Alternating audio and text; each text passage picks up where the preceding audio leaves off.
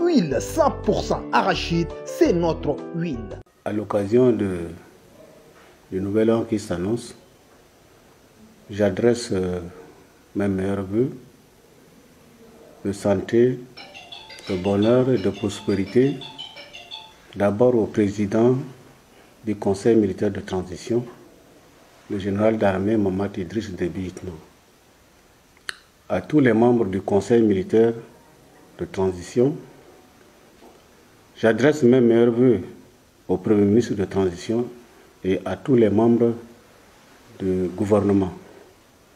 Aussi, sans oublier le chef d'état-major général des armées et à tous les chefs de grande formation, je leur adresse aussi mes meilleurs voeux, à tous les officiers généraux, surtout, j'adresse mes meilleurs voeux aux officiers supérieurs, sous-officiers et gendarmes de la gendarmerie nationale.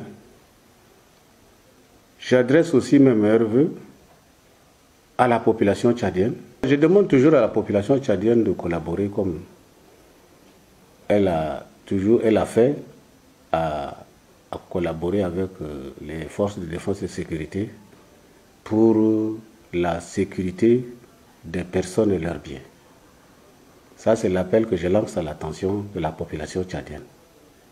Je tiens aussi à demander à la population qui cesse de collaborer avec la gendarmerie, la gendarmerie nationale pour ramener la quiétude au sein de notre pays.